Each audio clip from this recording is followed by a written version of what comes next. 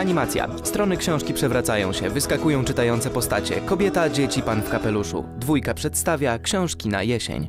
Międzynarodowy Festiwal Komiksu i Gier w Łodzi.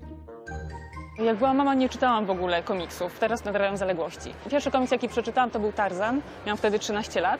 A następny to były Niebieskie pigułki Frederica Petersa 20, dwa- 10 lat później. Paul Tobin, scenażysta komiksów. Moja babcia kolekcjonowała książki. Miała dom wypełniony nimi po brzegi. Książki tworzyły jakby korytarze między pokojami. Brała udział w wyprzedażach garażowych, kupując ogromne ilości książek. Zawsze, kiedy odwiedzałem babcię, trafiałem na książki o Nancy Drew czy braciach Hardy, na ogromny wybór komiksów od lat 50. aż do lat 70. Dorastałem, czytając jednocześnie komiksy i książki. Scott McCloud, autor komiksów.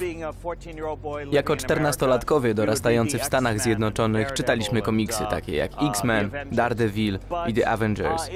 Ale to artyści trochę odmienni i szukający nowych kierunków byli dla mnie najbardziej ekscytujący.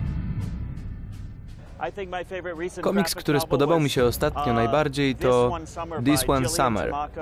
Autorstwa dwóch kanadyjskich kuzynek, Mariko Tamaki i Gillian Tamaki. Nawet jeśli jest przeznaczony dla młodszych czytelników, ma w sobie głębię i przyciąga dorosłych. Autorki podnoszą też poprzeczkę, jeśli chodzi o prowadzenie narracji, prezentację obrazu i upływu czasu w kolejnych epizodach. Pojawiają się nowe formy narracji. Wydano na przykład komiks o dziwnym tytule Four Kids Walk into a Bank Matthew Rosenberga. To dla mnie przykład nowego sposobu prowadzenia narracji. Wiem, że to żadna nowość, ale bardzo ważna była dla mnie książka pod tytułem Jonathan Strange i Pan Norrell Suzanny Clark. Nadal doznaję olśnień i w swojej twórczości staram się dzielić przekonaniem, że wszystko nadal może się zdarzyć. Marzena Sowa, autorka komiksów. Dla mnie czytanie jest aktem wolności. Pozwala mi czasami nie być samą sobą też, tylko po prostu stać się kimś innym, wejść w inny świat. Tak samo jak akt pisania jest dla mnie bardzo ważny. Program przygotowali Joanna Makowska, Szymon Kłoska, Agnieszka Jęksa, Kamil Hasiuk, Tomasz Ruszkowski, Michał Baczuń, Grzegorz Kawala, Rafał Baran, Edyta Bańkowska, Tomasz Kronenberg, Szymon Tomiło, Katarzyna Bogucka. W odcinku zostały zaprezentowane komiksy Paul Tobin i Joe Querio, Wiedźmin, Dom ze szkła, Scott McCloud, Stwórca, Marzena Sowa, rysunki Sylwen Savola, Marzi.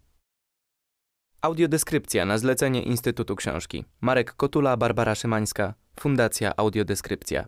Czytał Mateusz Smaczny. Telewizja Polska SA. Program drugi, Instytut Książki 2016. Narodowy Program Rozwoju Czytelnictwa. Dofinansowano ze środków Ministerstwa Kultury i Dziedzictwa Narodowego.